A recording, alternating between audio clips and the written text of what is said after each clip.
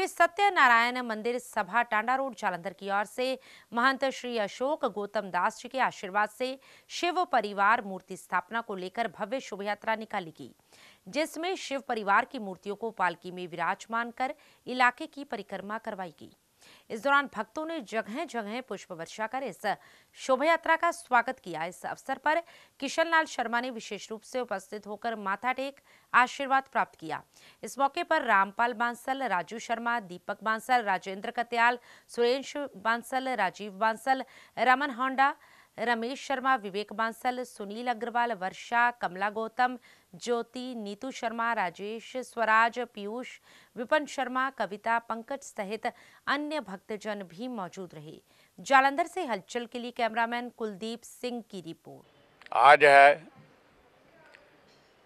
शिव परिवार जो पूरे विश्व का कल्याण करने वाले हैं। उनकी विग्रह स्थापित होने जा रही है। आज उनके निमित्तार्थ, शोभा यात्रा को शुभ, शुभारंभ एक बजे किया जाएगा। और सत्यनारायण मंदिर की कमेटी सभा की तरफ़ से मूर्तियों का जनी के उत्सव मनाया जा रहा है।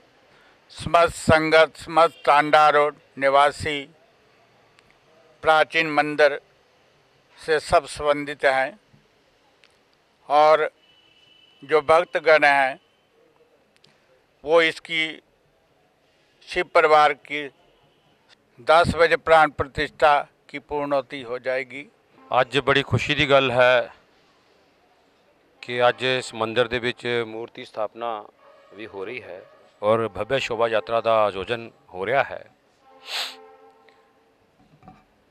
ਇਹ ਸੰਤ ਸਾਡੇ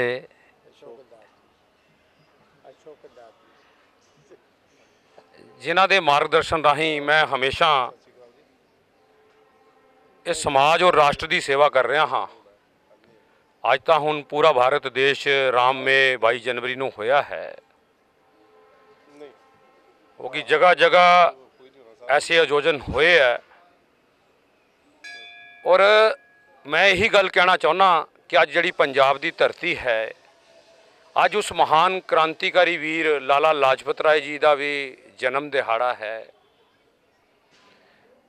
ਅੱਜ ਪੰਜਾਬ ਦੀ ਜਿਹੜੀ ਧਰਤੀ ਹੈ, ਭਗਵਾਨ ਵਾਲਮੀਕੀ ਮਹਾਰਾਜ ਜੀ ਦੀ ਤਪੋ ਭੂਮੀ ਹੈ। ਜਿੱਥੇ ਛੋਟੇ ਛੋਟੇ ਬੱਚੇ ਵੀ ਨੀਹਾਂ 'ਚ ਚਣਾਏ ਗਏ ਧਰਮ ਦੀ ਖਾਤਰ। ਆਪਾਂ ਸ਼ੋਭਾ ਯਾਤਰਾ ਵੀ ਕੱਢਦੇ ਹਾਂ, ਮੂਰਤੀ ਸਥਾਪਨਾ ਵੀ ਹੋਣੀ ਹੈ। ਪਰ ਆਪਾਂ ਦੇਖੀਏ, ਅੱਜ ਸਾਡੀ ਜਿਹੜੀ ਨੌਜਵਾਨ ਪੀੜ੍ਹੀ ਹੈ, ਆਪਣੇ ਰਸਤੇ ਤੋਂ ਭਟਕ ਰਹੀ ਹੈ।